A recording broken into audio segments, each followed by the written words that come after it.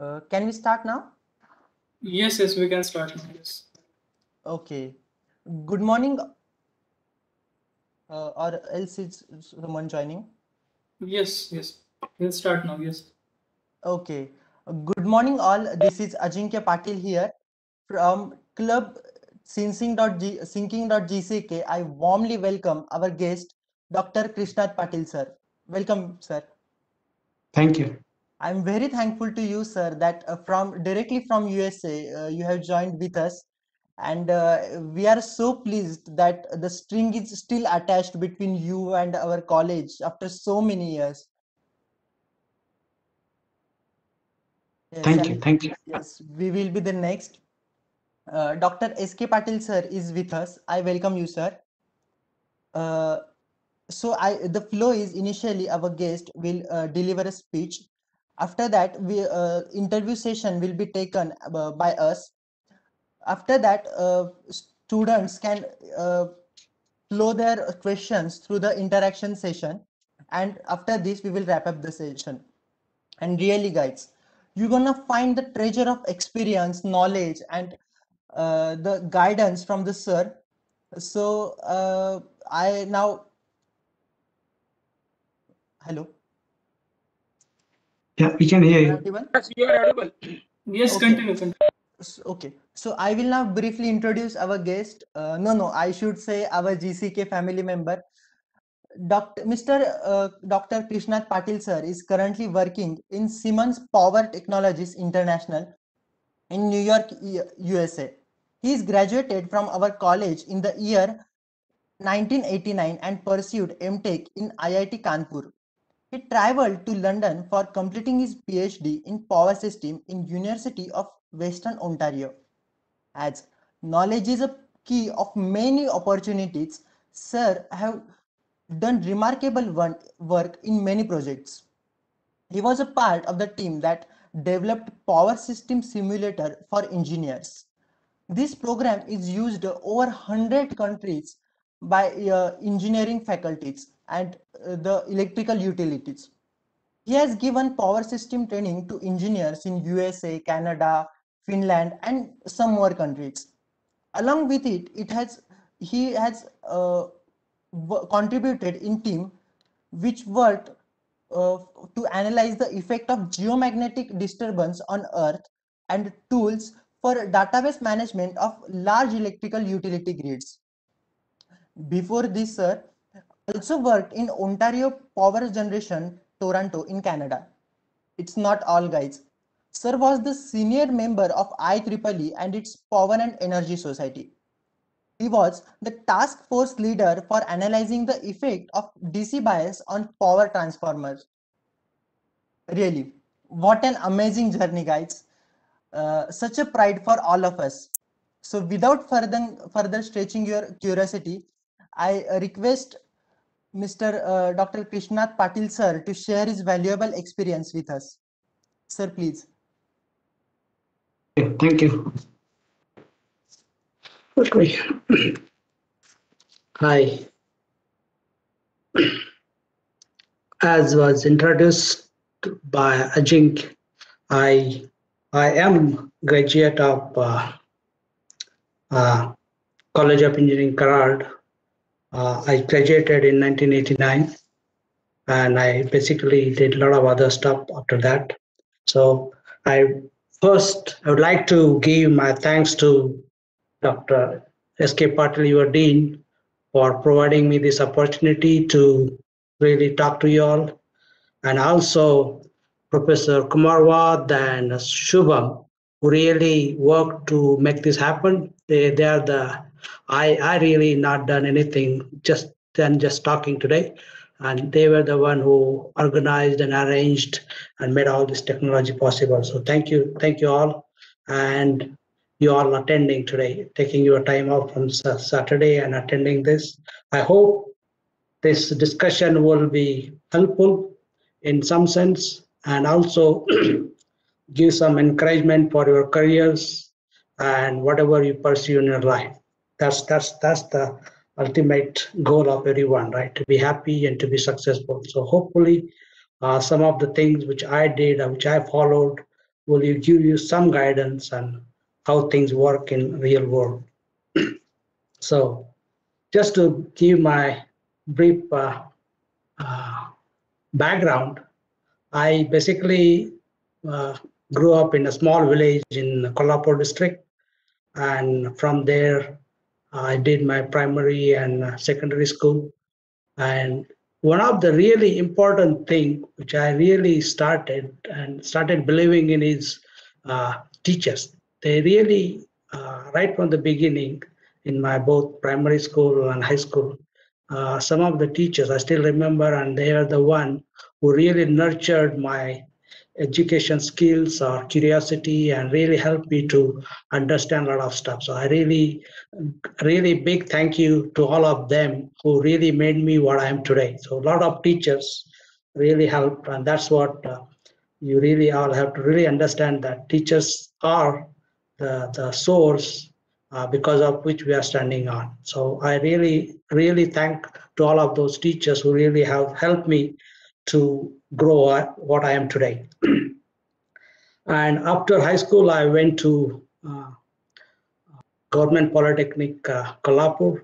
There I did my diploma. And the only reason I went to uh, diploma after 10th grade was because there are some other people in my village who had done that and they had basically got a job. So that was the motive to go, go to vocational school so that you can get a job after after finishing the school, right?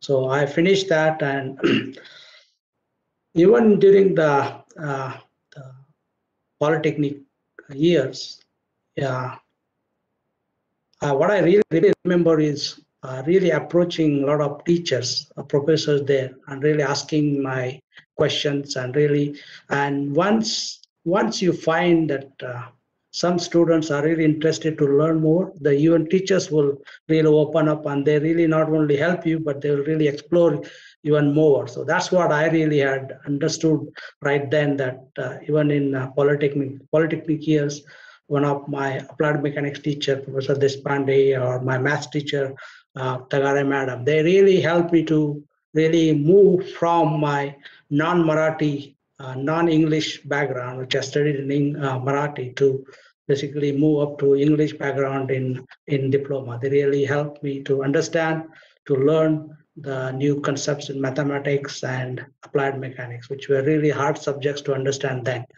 So, so I did, I did uh, owe a lot of, a lot of gratitude to those teachers. and after, after diploma, I, I, I realized that uh, diploma diploma is good you can really get a job but then uh, once you get into the job there is a possibility that you may not really grow much into the job. Uh, so that's why i decided to go for engineering degree. And fortunately for me uh, after the diploma i could get into government college of engineering Karad directly to the second year. And that's where basically i was in Karad for three years from 1986 uh, to 89, three years, and your dean, Dr. S.K. Patil, was my batchmate at that time, and we were good friends then, and we are still good friends, so we keep in touch. Uh, and this is the one basically who approached and asked me to come and give the lecture today. Uh, and once I, I, I basically went to Karad and really had a really good, good memories a lot of good friends. We're still good friends. We did a lot of lot of different stuff in in Karad. Like I, I still remember going and swimming in the Krishna River, or few times we went all the way to Sajjangarh on a bicycle trip. So they're, they're, those are really good memories. I still remember those, and I really cherish. And once I finished my um, um, bachelor's degree, which will be uh, B, I really if I had, I, I was looking for a job, if I had really got a job and really say, let's say really, really good company, I may, may, may not have even gone further, but fortunately for me, I, I, I did not get a job right after my college. So I, I got in and I had given the GATE exam, that uh, uh entrance exam to IITs, and I, I could get into one of the IITs uh, right after the engineering. So I chose to go there rather than to uh, search more for the job and look for the job. So, and once I went to IIT Kanpur, that was really like eye-opening, really eye-opening in the sense that the exposure you get in IIT, like there is a there is like a there is no comparison between the the the resources available in IIT and the resources available at that time in Karad, okay, College Engineering Karad. So even though it was government, but it was barely uh, barely uh, minimum things, right? Every, every, if you go to any lab, there's just enough, right? Basically, uh, the, library you go to, there's just enough things. But in in Kanpur, like uh, it was really it's a like see difference, really really big change, and lot not only the resources or the the people around you are very different. Like when you are in studying in Karad, you're basically surrounded by people, mostly uh, your neighbors basically. Even though I'm I'm from Kolhapur, there'll be people from Karad. So literally, most of them are from Maharashtra. So most of our backgrounds were similar. But when you went to Kanpur, like you you see people from everywhere, right? So you have lots of uh, friends from all other states, and then not only friends who are from other states, but their exposure to different things are very different. Like I, am being from a farmer's uh, uh, farmer's family, I had really zero exposure to a lot of outside world. But when I went to Kanpur, really this exposure to the thing like people going to abroad or coming from abroad and studying or uh, taking different vacations or studying different things, not only like electrical engineering, but doing a lot of other stuff. So, so when we were in Karad, we didn't have any computers, but when we went to Kanpur, basically we we had a computer. So that's that's uh, uh, that's that's the difference. That kind of resources available and then in those, and that really not only uh, exposed me to what is available outside your what you are studying now, uh, so what is what is possible and what what can be done further, right? So a lot of my faculty members were uh, studied abroad and basically coming back to India and teaching there. So that's that's that's basically gave me gave me an idea of okay, someone like me can even do that. So we can go and study abroad. So after after the after the graduation, I I basically after the MTech, I basically took a job in BHEL because the needed money too, right? So you can just keep studying. So I once I did job in BHEL, job was really good, very interesting job in BHEL. Like I always I always found a job which are which which are very technologically challenging really not you can you learn a lot of stuff on on the job too so the job was really good in BHEL we basically went to different uh, companies and did uh, power system analysis stuff. So basically doing consulting and designing stuff. So it was an interesting job, but still after uh, uh three, four years, basically it's kind of a um, jobs uh, prospect or job growth was okay. You could, you could stay in BHEL, retire comfortably, but then I really wanted to go and study abroad. So I said I, I was basically tried to go abroad and basically fortunately for me, I got a mm, admission to University of Western Ontario, Canada, and that too with a full scholarship. So that was really easy decision for me to really just jump the ship and uh, quit the job and go. So that was, and once once you are in basically outside India, like they're still so diff so different compared to what I had seen or experienced. So so in in Canada, it was really good. It's a good life, good good studying, a lot of exposure to a lot of lot of stuff. I did a lot of uh, good things in my PhD work. Even I during my PhD, when I studied, I taught one undergraduate course. It was it was a good good and broad experience to uh, live uh, live in Canada and study in Canada. And after studying there for for three uh, three and a half years, I finished my PhD, and then uh, after PhD, basically, I took a job in Ontario Power Generation, which is basically one of the one of the biggest utility, one of the utilities, our main generation utility in Ontario, which is a, a state in Canada at that time. and that job was basically I I was uh, visiting nuclear different nuclear stations and doing a lot of uh, uh, equipment designs and things like that. So it's a it's very interesting job, but uh, my my my uh, my heart was not in doing the, the job like uh, eating station, right? What we, what kind of job you do? Basically, you maintain the equipment, or you basically tweak it here and there a little bit. So that's how that's kind of a uh, op operational maintenance kind of job. That's that's what you do. So I really was interested to do something different. So that's when I dis I decided to uh, switch to a, different company called Power Technologies International, which is which is in uh, which is based in uh, Schenectady, New York, USA. And Schenectady is the place where uh, almost like a lot of inventions from this place have been used all across the globe. It is it is it is that uh, uh, technologically important uh, place this is. So MRI machines were basically invented in this place. The first electricity was started here in in Schenectady. The first air brake was invented by uh, George Westinghouse in Schenectady. So there's lot of lot of uh, big scientific big breakthroughs and equipment have been really invented in uh, in, in Schenectady, and and so this is Schenectady is still a, a, a small town, and I'm I'm I'm here since 2004 and I'm, I'm really happy with what I'm what I do.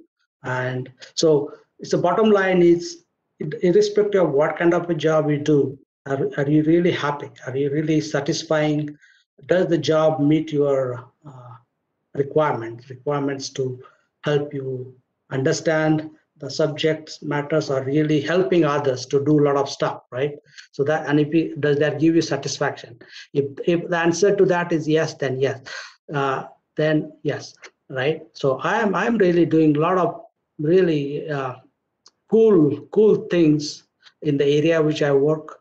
For example, the the power system simulation software we develop that literally is the benchmark uh, software which all other software programs they use basically compare their results against. It is really really really fast. So even if you have uh, buses which are like uh, hundred thousands of buses. Basically, buses means it's kind of a node, right? Like Karad is one bus, for example. Satara is another bus.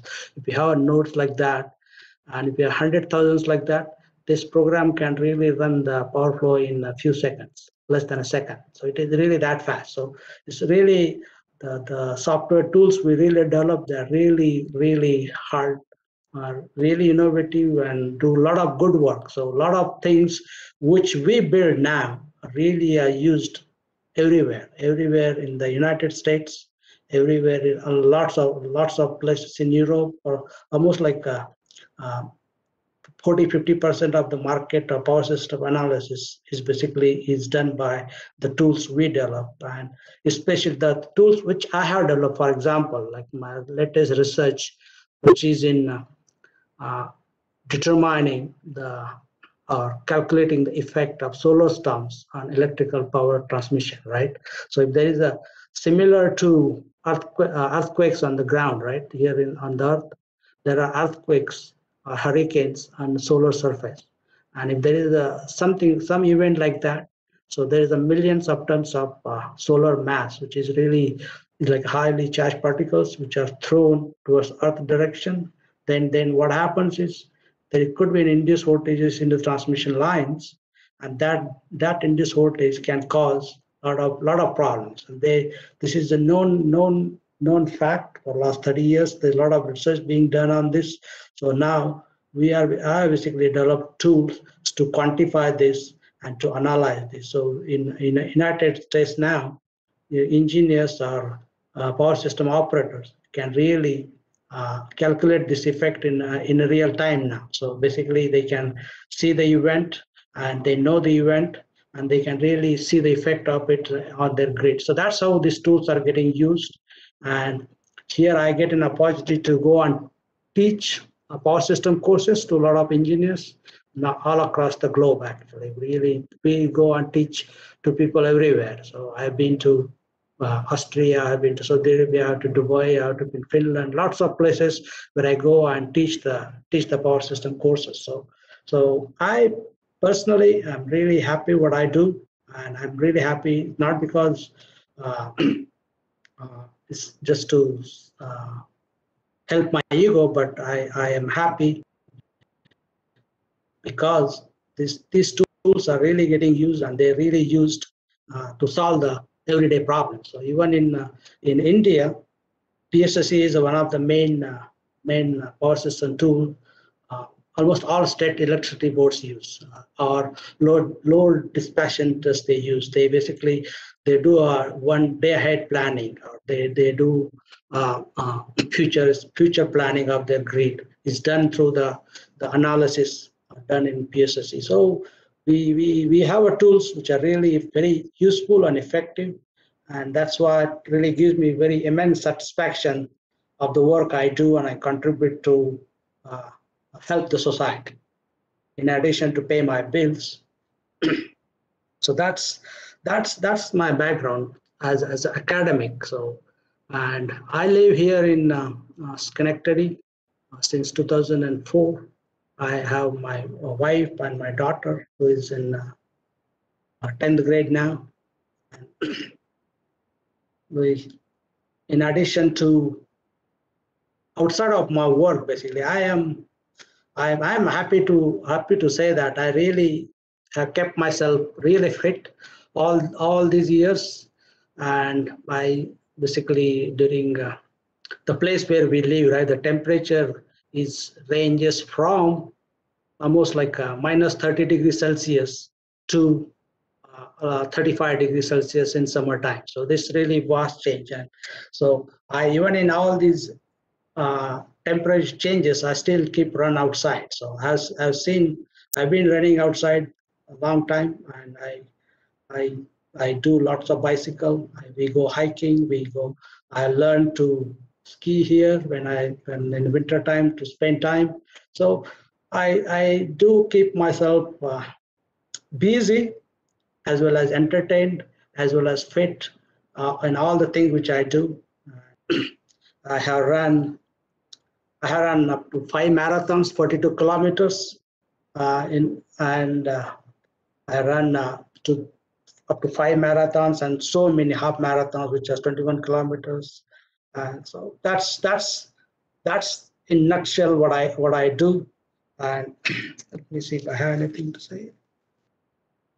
So the reason I uh, reason I gave this uh, uh, topic, right? I says uh, uh, when Soham was asking me, give me a topic. I really didn't understand what exactly that really means. But then I thought through, and then the when uh, Dr. Pa, Patil and they said what exactly this discussion is about.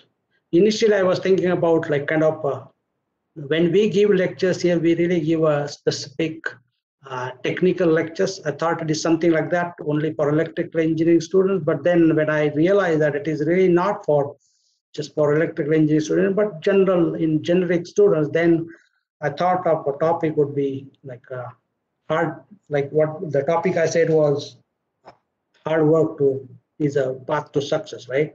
And if you really see all the all the things which I really did, and I really truly believe that uh, there is no substitute for hard work.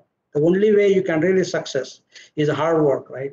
So you would have you would have you would have heard many people say that there is no silver bullet, right, for any problem. So similarly, there are no single path for success, right? I am success because I've done a lot of education and I, I right? Uh, that's why and because of education i'm successful today right?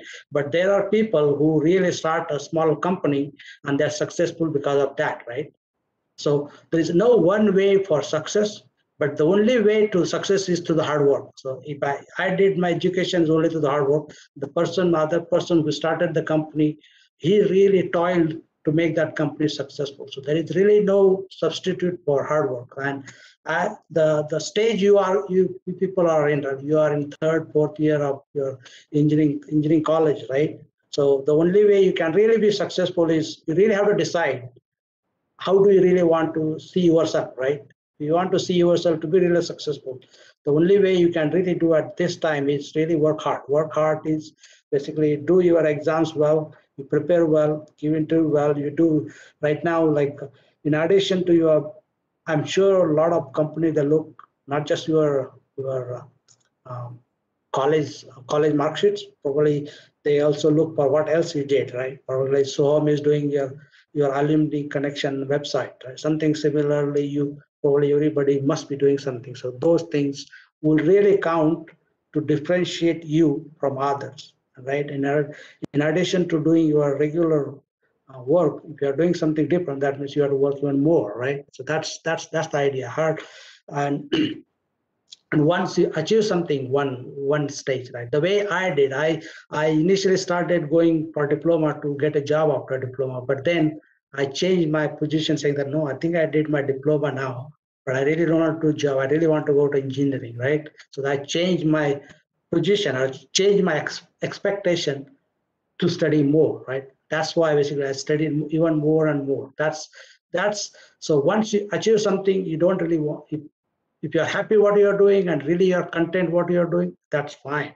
But if you really want to be see yourself more so you really don't tend to stop there. You have to keep keep looking forward and keep keep changing your goalposts right? And once you change the goalpost that means you, you really have to work even harder to achieve that further step right so that that is the only way you can you can you can see yourself to be successful so if i look back in my life right? I think I did pretty good, uh, and I did pretty good only not because of my somebody's blessings, but because of uh, sheer hard work I put in, or uh, and definitely a lot of friends, a lot of teachers, lot of professors definitely helped me and guided me to to where am I today. And I really thank for all of them. That's that's that's my uh, talk. You have any any other questions or anything we can we can discuss or talk. Is that is that good?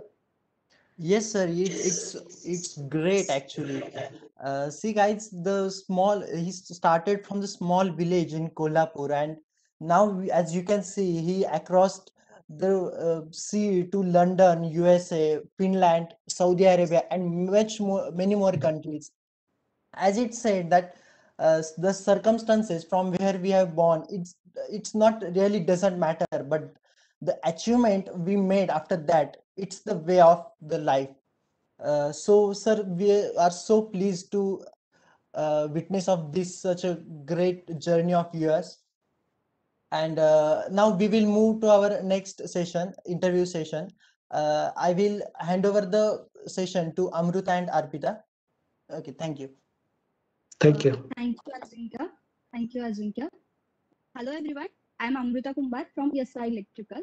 Uh, first of all, thank you so much, sir, for just such a great talk. Uh, it was really worth to note. Uh, so uh, now, with your permission, we can start the interview session. Sure. Yeah, so thank you, sir. So my first question for you uh, is, uh, after working in Bharat Electric, the decision to move abroad looks extraordinary. So can you please tell us on what basis did you decided to move abroad? Uh, I, I just alluded a little bit in my talk, which was once I I was in when when I was in Kanpur, right? So did you really see the the the difference between uh, Uh, the the crowd or difference in Kanpur and the people you see see across, come across, right? So I see a lot of faculty members who came from abroad. And basically, they even suggested, why don't I go to go abroad and study, right? So that is that was that was one of the one of the factor, motivation factor. And also, I, I I didn't really have a kind of a financial backing. I could really go on my own and like decide and just go. So then I was basically uh, waiting for the right opportunity. So I I keep I kept applying to different universities many times. I applied in Australia, Australia, I applied in New Zealand, I applied in Canada, right? And uh, once when I get an opportunity to study in Western Ontario with a full scholarship, that was the that basically was the driving factor for me to go and study abroad. So fortunately, I was still unmarried or really like uh, uh, even though we, we come from a small family, I didn't really have a, a compulsory financial obligations that I really had to work and support them. My brothers were really kind enough to let me go and do whatever I want. So that really uh, helped me to to really decide and uh, decide my own path. My my family definitely really did not burden me with their responsibilities. Yeah, they they always said you do whatever you want and but uh, make sure you do it right. That's the only that's the only thing they, they always suggested. Go go and do whatever you want, but do it right. Do just do it honestly and dedi- with the full dedication. Yes, sir, surely. Uh, good morning, everyone. I'm Arpita Dake from SY Electrical. Yes, really, the decision you had taken was really great. So, moving to the next question, sir, can you tell us actually in which field you paid more attention in power system during your PhD? In my PhD, I I all my education is mostly in in power systems. After like we had few few courses in even in Karad in power systems, power system analysis by Professor Khobragare. And then once I went to Kanpur, it was everything I did was in power system. Most of the courses I did in uh, power system. So when I went to uh, London, that was mainly to do uh, basically further research in power systems. And uh, in that, uh, during my PhD, basically I I I basically did a research on dynamic compensation of power system. What that really means is when there is a there is a fault in the power system, right? So we really want to keep the the voltage profile right so that you don't there is no uh, what they call is a shutdown, right? Uh, there is no outages. In order to make that happen, you really have to support the reactive power. So basically, you have to push the additional reactive power instantly and in a controlled manner. And this is the basically device, basically we call a binary multi-level voltage source inverter, which basically uh, will support that reactive power dynamically during the disturbances. That was that was my research topic during my PhD. So uh, the anything if you, if you guys really see that uh, you think uh, internet is the uh, uh, really the all connected all the time that is really not true it is the electrical system or electrical power system that is really connected all the time. 24 hours never really fails. When it at least here in like say in united states the power goes only when there is a storm when there is a, when there is physically line breaks because of the tree falls on the line right? So otherwise it is always on 24 so 24 hours. So even the, you are with all these upgrades and all the technological improvement even the power system network is fully synced and constantly on all the time.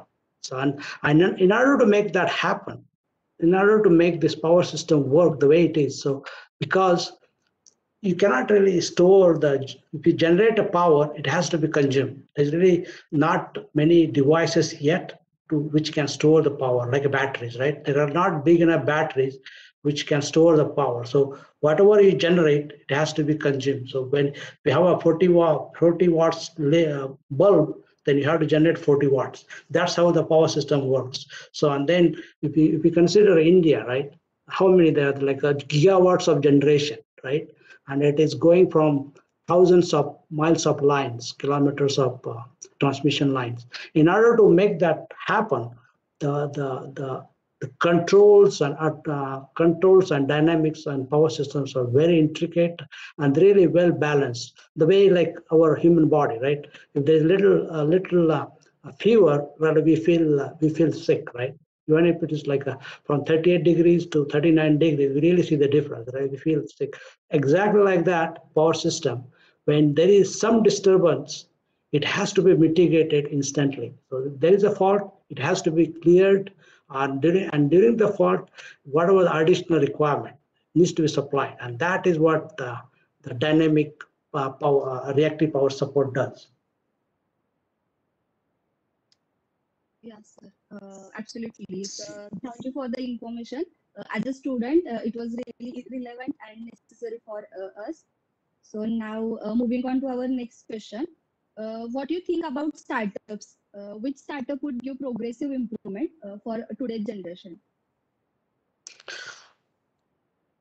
startups, I think if you really look at the, I, I, uh, the, any startup, right? For example, generally the nimble startups, which are really small and, and startup doesn't, startup has to be a really right idea. And that's what really, really picks up, right? Right. If you have the right idea, and that's that is the, that is the startup which shows up there.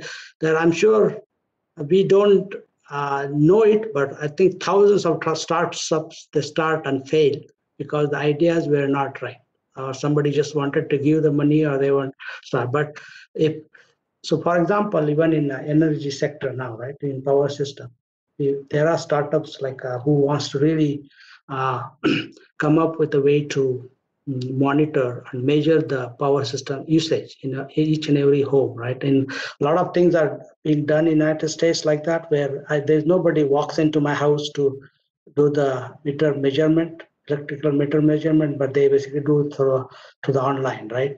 So it's a wi-fi controlled uh, so similarly the startups but this like then this need a big infrastructure to all that. So if somebody comes up with an idea how can they really be done locally and managed locally right? Those those kind of ideas which are really the startup which really solves right away. That probably will really uh, help. I think that's those are the those kind of startups which should really look at if you really want to join startup. Yes surely startup is really good idea for today's generation. So next question is that Sir, what do you think about energy industry, energy industry startups, and how they are impacting our overall development? What I really see now in uh, energy industry is it's like a uh, it's a, it's a, if, if, I, if you take the analogy, like when I was studying in uh, IIT Kanpur in 1990, every, all the computers were what they what used to call it as a wide area network okay there's not everyone had a computer at home or anything like that. Everything was connected to the wide area network. Then came the the uh, personal computers. And then wide area network were not that uh, uh, useful anymore right? But then now came the cloud computing right? So everybody really now everybody wants to have a dumb terminal at the home and everything is done uh, uh somewhere in a cloud. So it's it's like uh, going back to the same 1990s computing philosophy. Only difference is now instead of uh, limited to one area, uh, right? Now it is across the globe. Now you can be anywhere and you can do computing anywhere. Now exactly like that is happening in uh, electrical industry now, power generations. For example, if you look at the the generations, right? When when now you still have a big generators, big nuclear plants or big coal coal power plants, right, to generate the power. But now uh, I, I really uh, doubt anybody really would like to build a nuclear power stations, but they would really like to build lot more wind farms or a lot more photovoltaic uh, generation plants. So now what they're really doing you, uh, uh, is, is even in uh, I, even I heard in in India also that they want to then uh, basically if you want to build a photovoltaic plant right you need a lot of a lot of real estate a lot of space so and what they're really thinking is you could even have a floating uh, PV PV plants on a lake. So not only it will you will get a space, it will reduce the the the reduce in the water, right? Because of the so so what I really think is now we are going back to going back to personal use of uh, power systems. Basically, now I, I see lots of lots of places, lots of homes in uh, in Germany now they're self-contained. That means they generate their own electricity. They generate their own electricity through the uh, PVs and uh, okay. So yeah, you, and that they don't really have enough uh, sunlight. But here now in like places like India, like I'm sure there will be a lot of scope of uh, installing a lot of PV panels, right? And then we can really be self-contained and we don't really have to rely on the the, the electricity market. So that's my my case is that's what really we are driving, and I think basically we are going back to uh, not concentrating generation at one place, but generating where it is needed. So in through the smaller smaller uh, power generations, wind farms or PVs, and even the geothermal uh, geothermal plants. Lots of lots of things. Absolutely, sir. Uh, as you said, uh, they are really very important for our uh, development. Uh, so, sir, moving on to the, our next question. You did your graduation in India, uh, and then you did your PhD in abroad. So, we would really like to know uh, that uh, what are your views on educational system yeah, in India uh, and abroad? There are I'm definitely like uh, uh, like uh, lot of differences between education system in India and education system in the uh, United States. Not to run probably, and that is true to any other country. Uh, its education system is different in their own ways. Uh, uh, for example, even even at this stage in years, right? My daughter is who's who is in 10th grade now, right? She just finished 10th grade. But then, if you, if you look at the the, the amount of uh, subjects she studied, and the vastness of those subjects is is a lot more than I studied even in college. Re- Really, like that's so that's really the difference starts. Not only that, the the content is very different. Our content is very high standard. Uh, the amount of choices you have. So, for example, there are even in uh, like right from the elementary school, which is primary school in India, you could choose different subjects based upon your abilities. If somebody is really doing a really good in math and science, they can take higher higher level courses. So there are some kids uh, in even in high school here who take the college level math courses or college level science, science courses. So there is availability of uh, resources or availability of uh, courses like that. It is there. So that's how that's another that's a big difference. And even in uh, when you when you go to like for example you go to you know Karad and you do electrical engineering, right? For example, you decide to do electric. So there are certain set subjects specified for you. You you have to finish, right? You that's what your curriculum is. But it's in uh, in uh, mostly in the United States or probably in, even in other other state other parts of the world is yeah there are core courses. What they call the core courses so if you are an electrical engineer you want to become electrical or you want to become IT person right? So these are minimum uh, courses you have to finish in order to get that uh, major degree. However there are remaining like say you, you need eight credits or eight courses with uh, your core core subject in electrical engineering or computer science but remaining eight courses for example. You could choose anything you want. That's that's mostly it is done. So it's not really like when i was i was in Karad basically i had to do a fluid mechanics right? I had to do the thermodynamics. Those are the, the those are the courses they were mandatory. But here if, if in uh, in the united states at least we, you go to college like that you could theoretically take the course in uh, in music. If the if the college has a music department you can take a, a course in the music department if you are interested in even though you are doing engineering. So even though you are even though you are doing engineering you could take courses in biology. So that's those those are really uh, differences. And but one one thing you you have to really remember is this. Doesn't matter where you where you where you go right or where you learn ohm's law stays the same even in india or even in any any school even in harvard so all the principles you will learn in electrical engineering in Karad are the the principles you will learn in any other university will be the exactly same. Okay, only difference would be how hard or how dedicated you are to learning those principles and how good you are at using those principles. Okay, that will really differentiate you from uh, what you do and what others do. So that that is what I have really seen in my my my education. So I came from uh, Marathi Marathi background and I did all these things in English. I did engineering, everything, but I never really felt that I really do not understand something which which which I already studied. So all the things which Professor Khobragare taught me in in uh, Karad, I still use them so that that's so those are so those principles will never go never go yes there will be differences how how they get taught right every teacher, every professor is different. The same subject will be taught by two different professors, so the reception from the students will be different. So exactly like that. So courses taught in uh, different universities will be different, right? But the principles stay the same. So as long as you really are, you are trying to understand what you're learning, okay, irrespective of who, who is teaching or where you are learning them, right? So they will stay with you, and that's that's how we really have to be look at this as a more holistic approach, like thinking that uh, the, uh, I, I have seen people, even the uh, students, or like I've seen some some people who are studied in Harvard, which is one of the best schools, right? But I'm I'm but the the knowledge have in those the my core subjects and their knowledge is almost same. So that's so that's the difference. That's how you have to look at it. So irrespective of where you learn, you have to really learn it really well. Okay, that that is the bottom line. Yes, really. Thank you for your guidance.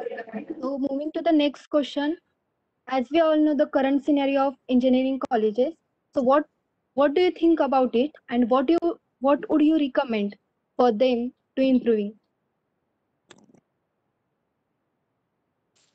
I would, I would like, I would, I would uh, uh, definitely think of uh, uh, adding uh, like kind of uh, what what they call it as internships.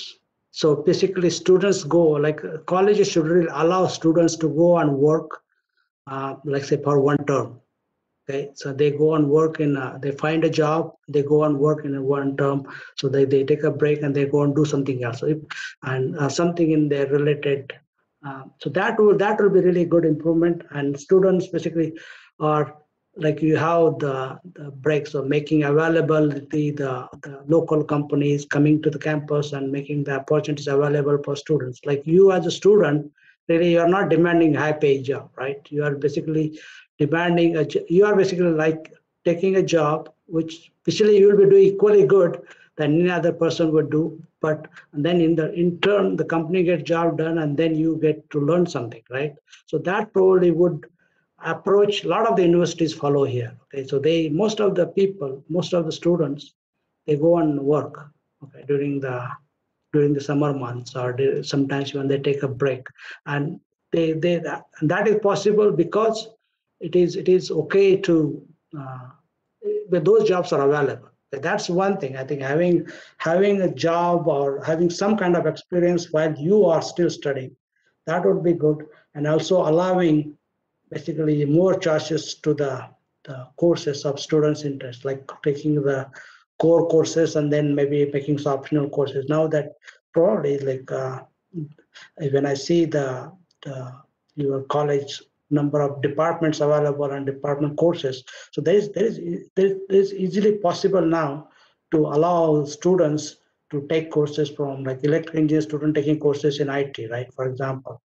So that that is that is doable and that is possible. So that's that probably would one way to improve or broaden the knowledge of a student, right? Like so you're not just compartmentalized just in one subject, you know and plus bringing the real life examples like when you are probably doing a power system analysis like not just studying just the limited scope but really bringing and uh, doing some real, uh, real life studies as well. That that will really really help. That's what they call it as a capstone project in the united states. So they basically all students they really do some some kind of projects with some industry to come up with something some solution and they present that.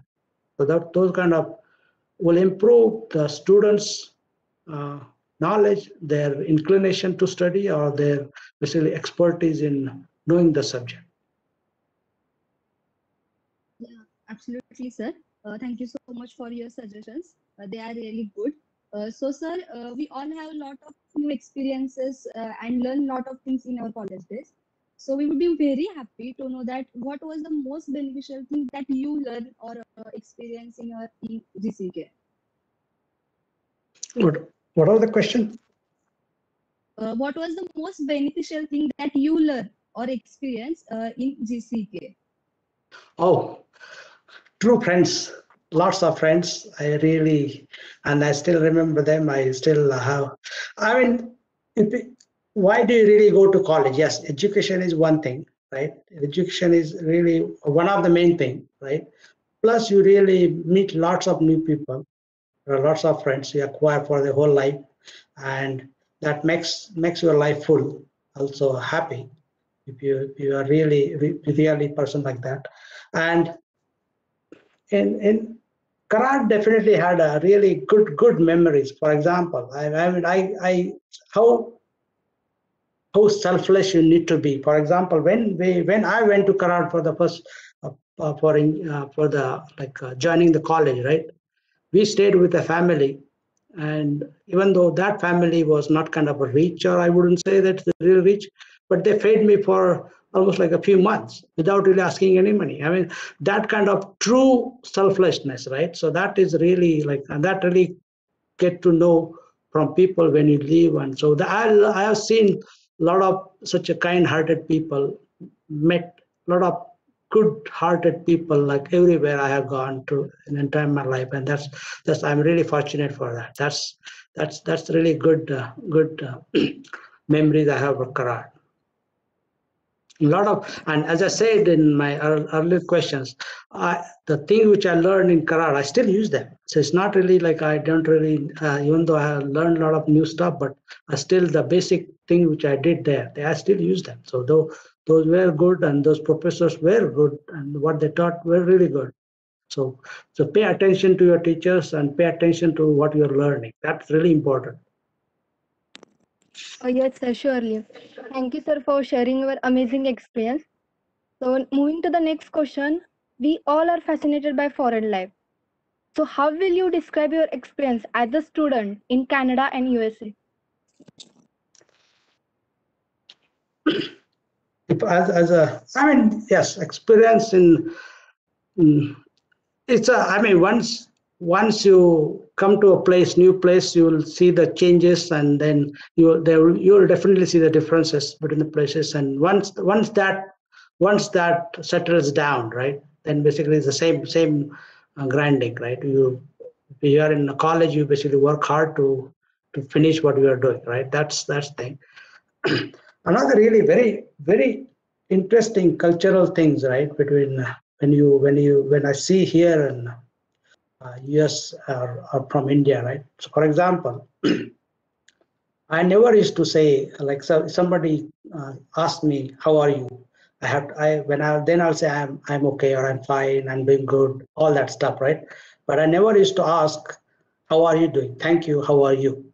I never used to ask that. But that is one of the etiquette. You have to always say that. So that's what one of my professors said that okay, if somebody asks you, "How are you?" I yes, say that you answer that question says, I'm really doing fine, and say thank you, and then ask that question to him too, right?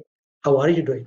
So that, so though, so, but that, I never learned that in India, but that's, that's how, that's how things work. For example, another thing is, I really, it's, it's very minute, but really very, very differentiates between how people behave differently, which is when in in in uh, the US or Canada, if you, if you go to open any door, right, and somebody is just following you, you don't open the door and you go in. You basically open the door and the other person who is following you to let him in first, and then you go in. That's that's how it is, and that's how that's how. It, so those are the things which which are very like very minute but very different from uh, from how people behave or how people live, and that's so. Again, in uh, the studying in uh, in in universities in our in Karad or specifically lecturer would come and teach you, right? It's exact same. It's really, yes, the tools may be different, the subject will be different, but it's identical. So, so other than that, what you learn is still the same. So it's the professor maybe being very experienced, very knowledgeable, he will be really good. He can really give a really good examples so that he can, he, the subject can sink in uh, very easily. Okay, so so my I definitely had a really good good experience. I mean, all colleges. I really had a good experience in Karad. I did have a good experience in Kanpur.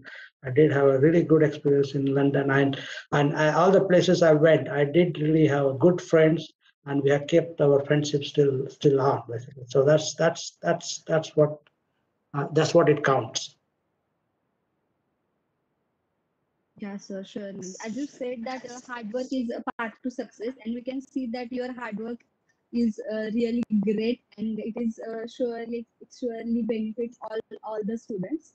So moving on onwards, uh, sir, uh, going abroad and doing our masters is a dream for a lot of students.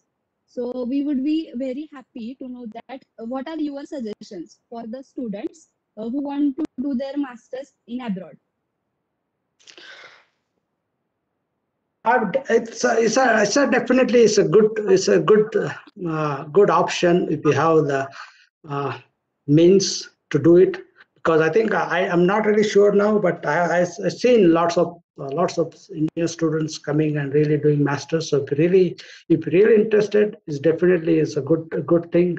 Uh, if you have the ability to come or do it, it's good. One thing is. Earlier there were not like at like my time there were still a lot less students coming and lot less opportunities but now i think there are really lots. And if you really are interested it's definitely it's a good it's a good choice. And even probably i i've seen uh, for example even in my company where i work i've seen some students indian students coming and studying.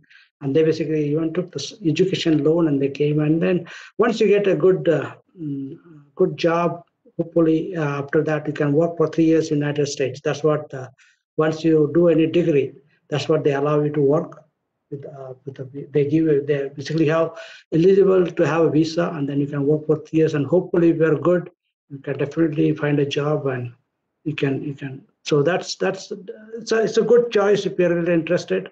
But again this is based upon what you have done. It's all all comes down to how what you have achieved so far in your college, right? So if you are really done good and really have, if you really have a willingness to uh, come and do even further studies, it, it is a good choice. But only thing is, I, I wouldn't suggest that uh, going to schools who are just there just to just to make money or uh, making a right choice. Okay, right choice is really important. Like uh, are, are doing a uh, doing a degree or coming for graduation in a core core courses. So, for example, core degrees really, which are really valuable and very important at this point. So, so for example, lots of lots of jobs in power systems here now. Power, uh, power lots of jobs in IT. So things like that. But if you if you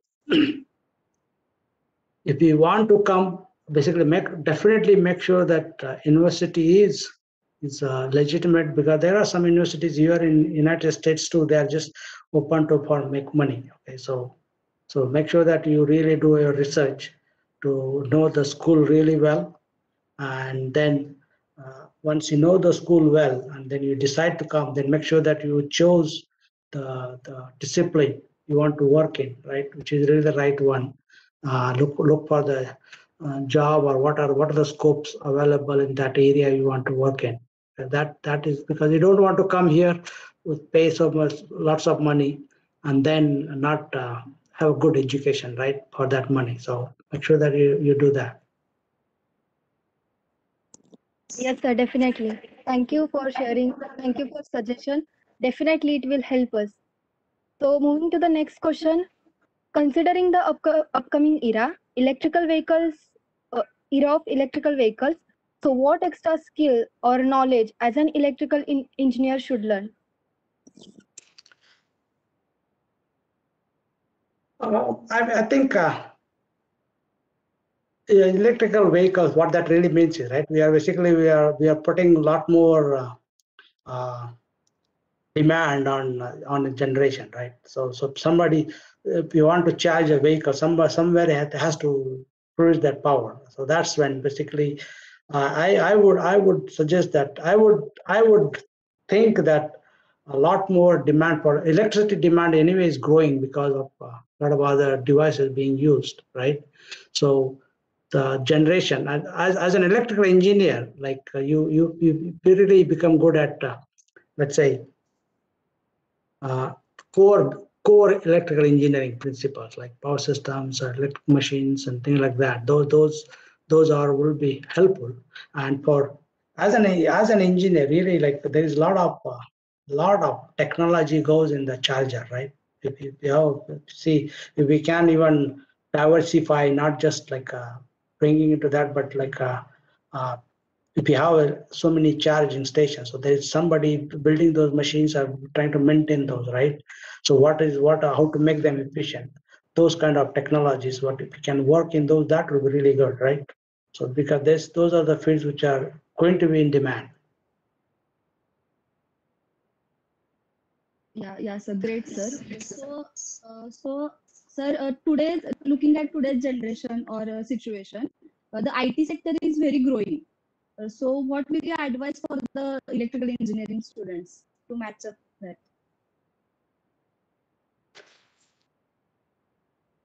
IT sector, yes, definitely is growing, but even I think IT sector is growing because like a lot of things are really uh, converted and be done in that, right? So similarly, there is there is a lot of things you can still, as an electrical engineer, you can do in even in I, uh, like you, you can still do a lot of programming, but related to power engineering. So I personally, for example, right, I I'm an electrical engineer, but what I really don't go and use any tools or do anything. But I really do a lot of uh, thinking and designing and uh, programming how things work, right?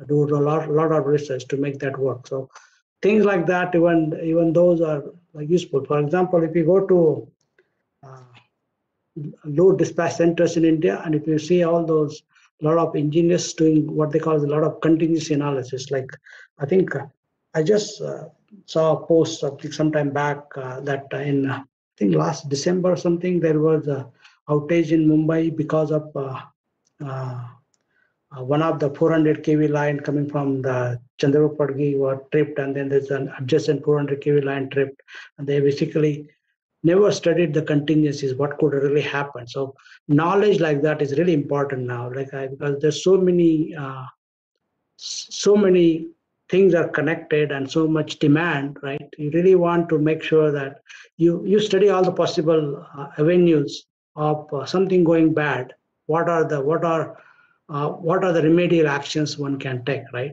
In order to study that right? So if you if you know the uh, power power system background and you really learn things topics like that like uh, really power system planning that's where the power system planning starts. So those will be really good uh, to to learn in electrical engineering really doing the kind of system studies level. So you are really not looking at one transformer, right? You are looking at the holistic uh, as a, at the system level, how things work, and if something goes bad, what what are the things, what are the actions you can take to uh, keep the system uh, function you are performing or working. Yes, sir. Definitely, your advice definitely will help us as an electrical engineer. So next question is that what do you think about Tesla? Will any Indian company bid Tesla in e-vehicles and why? Probably not, because uh, uh, uh, the I think the it's a, it's a, it's a, these are really high-end, high-tech vehicles, right? So, for example, takes personally, I don't like Tesla. Uh, vehicles because uh, they rely too much on machine. They really have no fail-safe mechanism in a lot of lot of times. For example, just like a uh, uh, few weeks back, I heard a story about um, Tesla vehicle getting uh, basically uh, batteries basically is burning, but and because of batteries burning, that uh, its electronic system is failed and really the, the driver inside couldn't get out because it is locked Okay, so it's too much electronics is not good too. So, uh, so, so besides that, I mean, yes, there's a lot of technology, a lot of advancement, a lot of machine learning, right, is, is being done into that. So, so I'm sure there are, I'm sure a lot of Indian companies have worked behind the scene this uh, to really make that technology possible too. I'm sure a lot of electrical engineers from India really working on those those those those things and so personally, I don't, I'm not really sure whether really any Indian company can really take on Tesla and go ahead, only because uh, advancement of technology really need, right? That the kind of knowledge you need to succeed. So that it takes it's long time to really come to that point. That's basically it. So it's not like they can't really do it, but it really takes time to really come up. I'm sure they have already done thousands of experiments before really coming up with a solution, right? So you, so if you want to do it, you have to do the same thing, right? So that's why, that's why, yes, maybe eventually, yeah, it will come. The Indian company can succeed, but right now, I don't really think that that is even possible.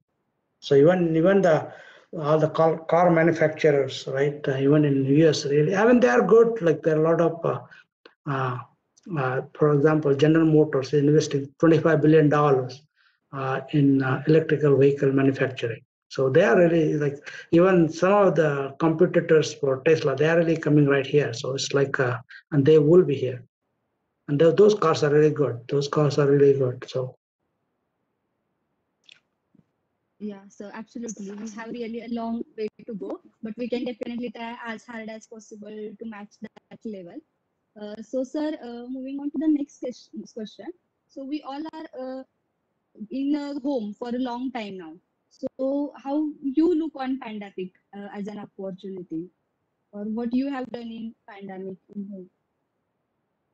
Oh, uh, I, understand your question right, you what have I done during pandemic is that correct? Yeah. Okay. So as like as like the whole world stopped for us too on 13 March 2020. So that was the last day I went to the office, 13 March 2020, and since then we are working from home. I did go to the office just a few times, maybe just two or three times. I just went and came came back just to get some books. I went there. Uh, so we are working from home, but fortunately for us, we do a lot of our work on a computer and a lot of work uh, teaching or talking or discussing, a lot of things basically done via computer. So it, as work is really not affected at all. Probably are done, we have done even more work because we don't really have anywhere to go. So basically, if you are, if you are getting bored or you need to do something or you are solving a problem and you are really not found a solution yet, your computer is next to you, so you go and try something else, right? So that's so so that's from work front. Work front, I think, as a Siemens, product, we did pretty good actually, and as a as a as a as a our group, we did we did good, and we we we have been really very successful uh, because of uh, available technology, and we're able to communicate and uh, do a lot of stuff. And so, for example, right, uh, the, we we write programs, right, to do some stuff in power system. So, but now, in order to write generate that program itself, we write another program so that we can really mass produce the program.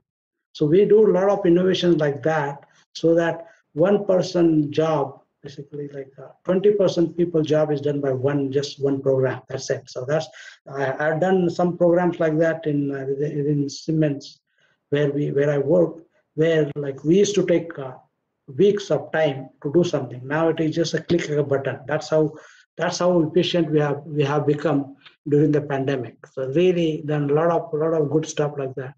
And as a as a work front uh, we really not affected, but unfortunately, a lot of people cannot say that. And in, even in the United States, a lot of uh, service industry, for example, restaurants are closed, or lots of uh, lots of people who work in service industry. Those those really really affected. And here in where I live, right, that's uh, it's a small small town, really small town, like and really a lot of open space, open space between houses, open space, the really big streets, long open streets, and not much population. So even uh, even height of pandemic also, we were not really locked down. We, we were advised, uh, basically we can't really go anywhere and, and lots of shops were closed and uh, things like that. Our hotels were closed.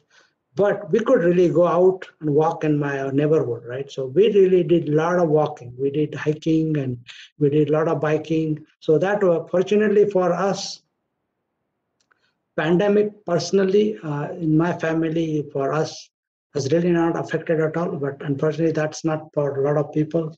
Uh, so yes we are working from home and and we all three of us basically at the same uh, my daughter basically went to school whole year but uh, the, the way they did school was uh, two days uh, 50% and two days 50% and one day they kept to basically sanitize the work. So fortunately that really worked. So they and they were wearing mask whole time when they're inside school.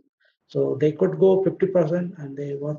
And we did really a lot of walks and uh, everything everything really worked for me personally or for my family fortunately it's really really not affected that much by pandemic other than I was to visit my family in India in last September and I couldn't go yet.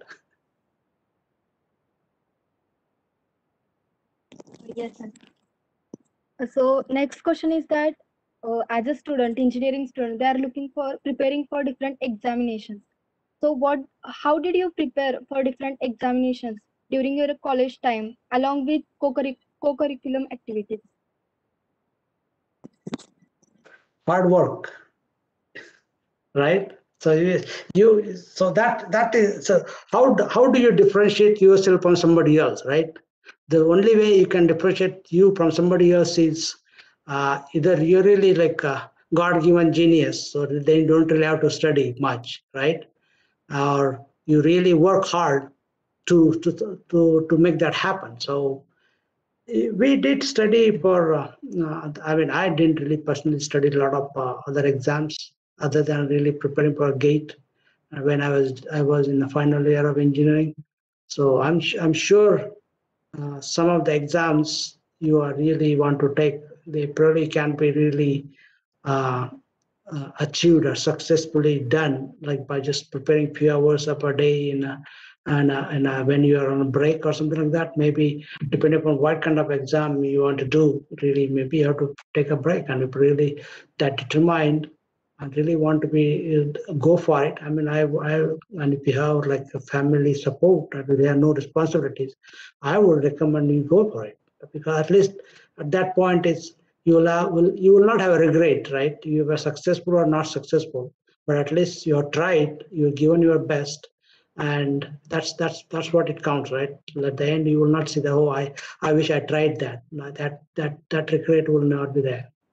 So i would suggest that if you are i'm, I'm sure if you are like preparing any engineering exam for example if you are preparing an uh, indian railways exam which is more like uh, engineering or more like a common math and things like that. That those probably you can really ace when you are uh, doing engineering but a little more extra effort. I'm sure your professor not giving going to give you the work that you really involves 24 hours of your time right? So you still can find time to to do the other other other studies. But one of the really important thing if you really want to do something like that is is planning if, if unless you write it down that never happens. Okay so if you really want to do something you really have to log it. You have to really log it and really unless unless you write exactly what you're doing and how if you, even if you decide oh i want to study two hours for something. But unless you really log it and find out are you really doing it? Because if you go and study for some time like oh so oh, i studied for that today you know but unless you really know exactly how much you studied or what you studied you will never know how efficient or how good you are okay? So try to keep a keep a log of what really you want to achieve and how you are trying to make that happen. And then after uh, after you realize oh my efforts are really less or i'm really doing good you know? You can really and then beside based upon that you can determine what what are your priorities and what exactly should really reduce if you're not getting enough time to study right? If you're going partying all the time then you basically not, you have to stop that and study right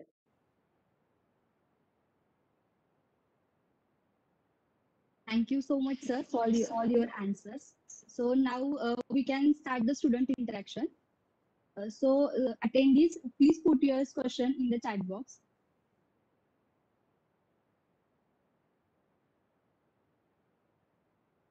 Arpita? Uh, so uh, here is one question, sir, uh, from Shraddha Loke. Uh, electrical vehicles are really useful for humans and environment. But still uh, there are some rumors about like electric vehicles have limited range. They are not convenient. They are exp- expensive etc so uh, sir can you please tell us it is actually true or they are just rumors? Oh, uh, electric vehicles are expensive because of the cost of a battery. Okay, that and that is true. So if you if you buy a bat if you buy a vehicle uh, which gives basically similar uh, mileage, right? So that is much cheaper than electrical vehicles. That's because of the cost of a battery, and the cost of batteries is substantially going down because of the government subsidies and uh, the the lot of uh, environmental regulations or a lot of competition and the, the, the uh, innovations done in battery manufacturing. And another really uh, thing which is which is not yet liked in electric vehicles is uh, because of how far they can go, right? If you have a battery and if you can go only 200 miles, that probably if you are if you, if you just use that vehicle to go to your office and come back which is like say 20 kilometers every day then it is fine. But if you if you have only one vehicle at least in the united states i really cannot go anywhere without my car. There's no public transport right? I have to have a have to have a car to go anywhere to go. So and if i have to go some other cities which is like 100 and 200 miles away i, I unless that electrical vehicle has that much that many mileage i cannot really have that vehicle that's that's the bottom line because you cannot wait on a gas station for eight hours to charge your battery, right? You can fill the gas and then go within uh, 10 minutes, but you cannot wait for eight hours to fill. So I, am sure the technologies are improving both manufacturing and like there are fast chargers also now, like which can they, they claim that you can really charge your battery within like a few hours, which is which is which is good. And then uh, well, even I think Tesla is also can go up to 100 350 miles so there are vehicles which are going all the way up to 350 miles, so which is which is which is good. Electric vehicles are definitely good because it it does reduce a lot of pollution, and not only that, you as a user, electrical vehicles will have a lot less maintenance, right? But there's no there's no lubrication to be done other than some transmission lubrication, right? But like there's no engine lubrication and a lot of other all those maintenance costs because of that would go on away.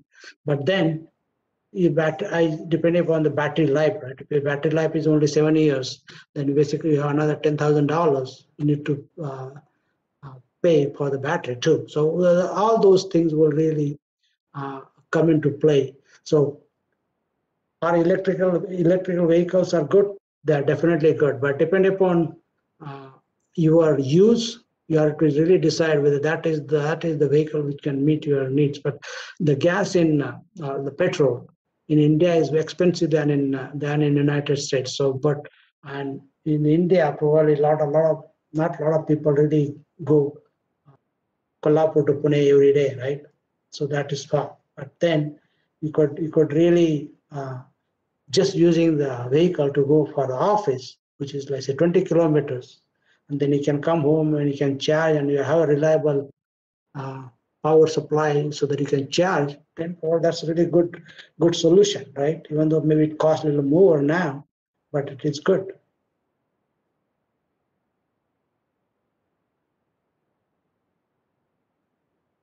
Yeah, uh, absolutely, sir. Uh, thank you so much.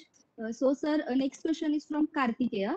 Uh, which courses should we uh, we should do as an electrical engineer as far as recent market conditions are concerned? What was that? Which courses?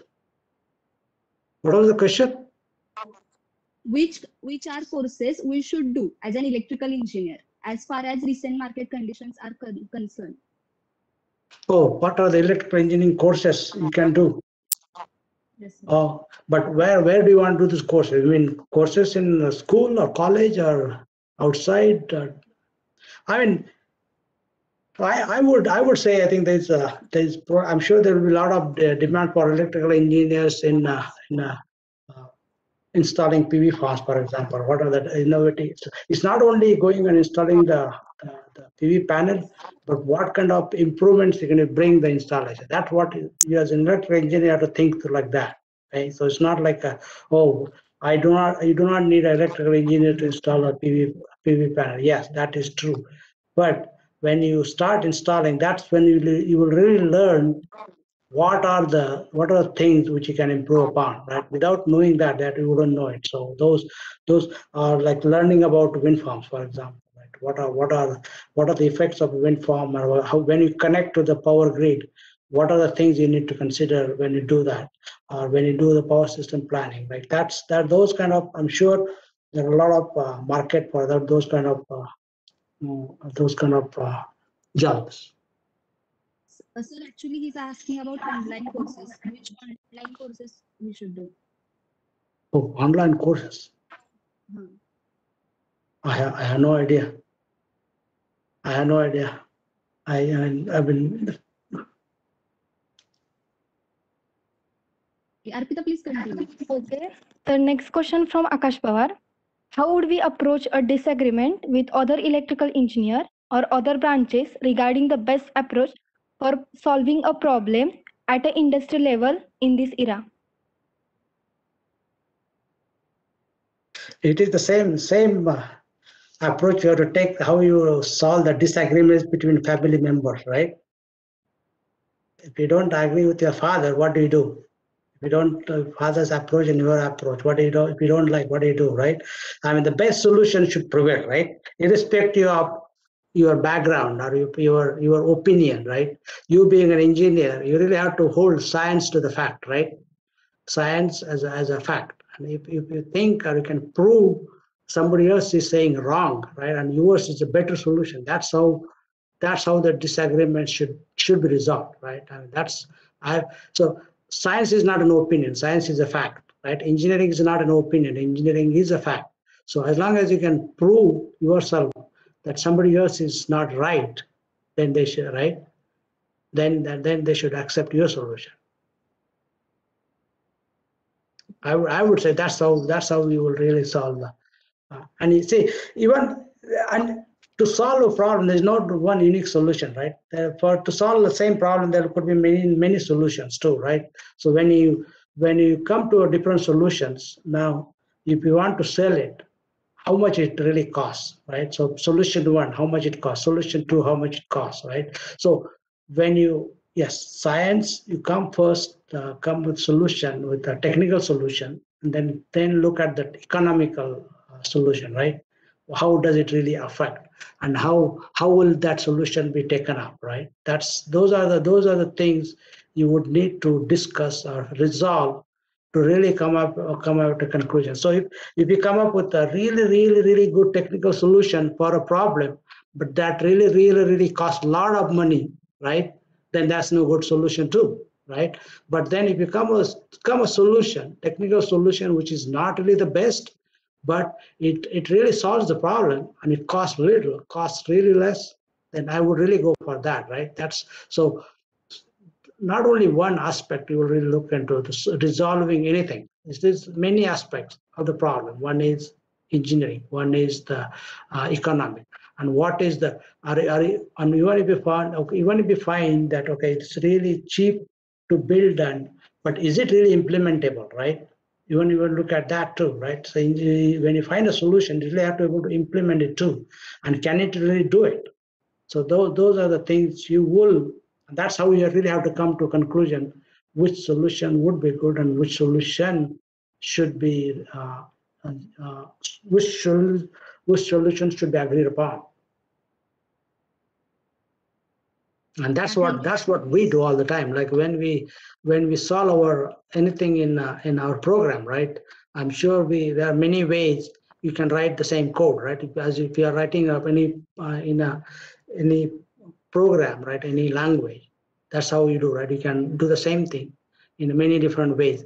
But what we what we decide upon now like when you write a program right? The way we decide upon is can this can this code be self-maintained? Like without really if i make changes somewhere else do i have to really go and change this piece of code if i don't then it is good solution right? And now when when you do a, like a distributed computing can this distributed it will work in all the distributed computing uh, framework too right?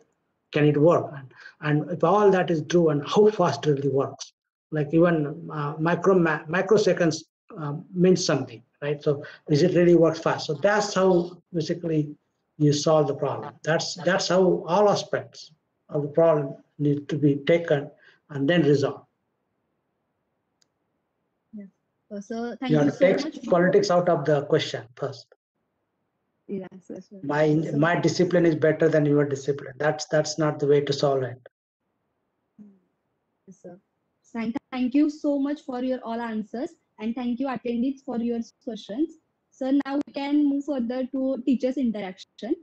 Uh, so uh, I request Dr. S.K. Patil sir to share their views and ask any question if you have. S.K. Patil sir.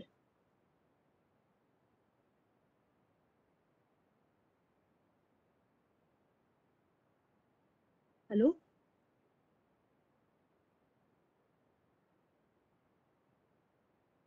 I think uh, SK Patil sir have any any problem. So uh, we can move further with uh, Kumarwad sir. Kumarwad sir, please share your experience and views. Yeah, yeah. Hello, uh, can you hear me? Yes, yes. Uh, good morning, sir. Good morning.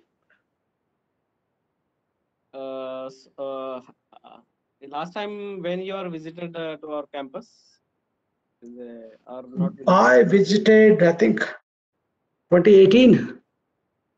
18, okay. I I was there just briefly for an hour or so, I think, yeah. Yeah, yeah. Campus is very uh, pleasant right now. Uh, whatever you have uh, at your time, uh, 1989, now campus and academics uh, very improved. Okay, facilities are uh, very increased. Okay, so you can uh, uh, Wi-Fi campus is there, uh, cashless campus is there, library facility increased. Our library, uh, our library budget is one crore rupees per year. Okay, this is our library budget. Uh, we are spending a lot of things on the lot of improvement students. Training placement office also doing the well. This year we are uh, placed uh, 250 uh, more than 255 students out of 300 in the campus placement. Uh, That's very nice, very nice. Yes, and uh, out of this one uh, student, girl student, uh, she got 25 lakhs cap package uh, in the um, uh, Goldman Sachs company. Okay. These uh, things are uh, growing on uh, with uh, helping of uh, our uh, great uh, alumni like you. Okay, they are also putting their hands uh, to develop our institute. So, Definitely, yeah. are, yeah. And uh, last time uh, um, in uh, IES, you know, IES UPSC examination is there in India. Uh-huh. Uh, IES, Indian Engineering Services. In this uh, examination in 2018, All India rank number one. Arshal Bhosle is the uh, All India rank one from our institute. Oh, nice. congratulations. Very good, very good. Yeah, yeah. And uh, um, 2018 MPSC, Maharashtra Public Service Commission, topper student, one number rank, uh, same uh, our college students. Wow, that's very nice. Yeah, yeah. This type of uh, the student also nowadays uh, uh, going towards uh, competitive examinations. Okay. Mhm. Uh, one student we have IRS in uh, in the finance department. He is a joint uh, commissioner uh, that uh, finance department. Okay, so this way Very good. in the industry, uh, but also in going to the in the government organizations. Okay, and uh, in HPCL, BPCL, BHEL. Okay, so Maharatna companies, Mini Ratna companies. Okay, these are the Navratna companies. Students, our students are there. In ISRO also, we our students are there. In uh, DRDO, uh, student one Kasare, stu- Kasare is there. Uh, Uttareshwar Kasare is working in the DRDO. Yes. Very good, very good. Students are uh, going into the uh, government organizations in like in the state government or central government or whatever. The international level also our students are uh, there, but we uh, due to communication gap we cannot contact them, or maybe they are not contact to us or so you you have also our great uh, alumni, but we don't uh, know the information about uh, you. You are working US. Uh, Dr. S.K. Patil is. Uh, I thanks to S.K. Patil sir who who is uh, given this opportunity to contact you and we arrange this nice session conversation between the students and our distinguished alumni from the US, who is working with a great uh, Siemens company. Uh, which is the Siemens is the one of the greatest company in the world. So uh, thank you, sir, uh, for giving a nice uh, lecture and conversation uh, to the students. Uh, so very really interesting. I learn. Uh, I am uh, listening your words right from uh, from the first word to the last word up to the last word. You've given a good. And whenever you come to the our uh, institute, uh, please uh, meet us, and we can arrange uh, some uh, physical interaction or uh, online interaction anything you want to do the uh, our institute for the students you can approach us thank you sir Thank you. Thank you for providing me the opportunity to talk. Thank you, Krishna. Thank you. Uh, uh, your, there is- it's your turn sir uh, thank you sk patil sir for uh, giving the wonderful opportunity to contact uh, dr Krishnat Patil sir. This is possible uh, because of you only. You are told uh, yeah yeah one of our classmate is there uh, working in the us uh, in uh, siemens. So that's why uh, with wholeheartedly uh, i i thanks to uh, you sir Patil sir. To give open up to our students to introduce uh, such personalities. Sure, Krishna, Yes, yes. uh, I, I have one more request. I will try to arrange your uh, lecture for electrical students, especially in power system. Sure, yeah. If you could uh, spare time, I, I will be in touch with you and we will arrange one lecture for students also. Electrical students Yeah. especially. That will be the technical lecture. I will, I will Yeah, yeah. uh, give you a call. Yeah, sure, definitely. Yes, and uh, today's lecture was uh, very inspiring and very, very, uh, very uh, enthusiastically given Oh, thank you. Thank you. Yeah. Thank you for the opportunity. Yeah. for accepting our invitation. Yeah, from the co- behalf of the college, I uh, I am very much thankful to you. Oh, yeah, yeah. You're welcome. You're welcome. This, yeah, very good. Yeah. Yes. Okay, thank you. Thank you. Uh, Yeah. Thank you, so- thank you so much, Sir S.K. Patil, sir. And we are really looking forward, forward for the power system lecture. Uh, and uh, thank you so much, Sir Patil, sir, for uh, your valuable time. It was really great talking and knowing your journey and experience. So for now, for the vote of thanks, I hand over to the Sumit. Thank you, Arpita. Thank you, Amrita. Good morning, sir. I am Sumit from SY Electrical. Uh, So today, uh, it's been very, give me the immense pleasure to give a vote of thanks from team Syncing.GCEK. Uh, So first, I would like to thank you to that you uh, spare your valuable time with us and uh, give your immense, uh, give your important address that is relevant to that. And sir, I noticed that you you know you pointed out very three very important key points. That is the you didn't wait for the perfect moment but you took the moment and made it perfect.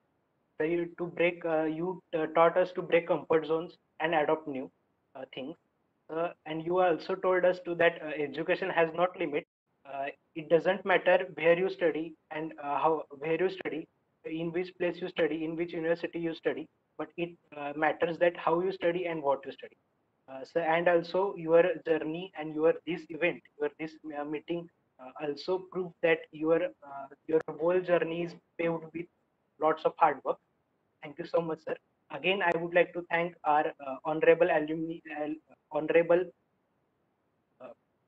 honorable honorable uh, faculties dr. Patil sir dr kumar Bhatt sir for giving us uh, for encouraging us to proceed this event sir again i thank to all participant students for being a part of such a motivating such a remarkable and event and finally yet importantly thank to team Syncing.GCEK for arranging such a valuable event thank you so much sir Thank you. Thank you for giving me the opportunity. It was really good. Keep up good work. thank you sir thank you sir krishna sir thank you very much Thank you. Thank you. Keep up the good work. yeah yeah thank you yes sir yes we will do Yeah. you can exit sir yeah you can exit Yeah. Shubham, thank you. Thank you for arranging. Yes, sir. Yes, sir. Thanks a lot for the session, sir. Yeah. Yeah, That's thank you. sir. Yeah, Yes, sir. Yes, sir. Yeah, Thanks for your okay. time. Bye. Thank you, sir. yeah, I'm leaving now. Okay. Yes, sir. Yes. Yes, Yeah, sir. okay. Thank you. Okay, okay, bye. Bye. Bye. Okay, bye. bye. Patil sir, SK Patil sir. Hello. Sir. SK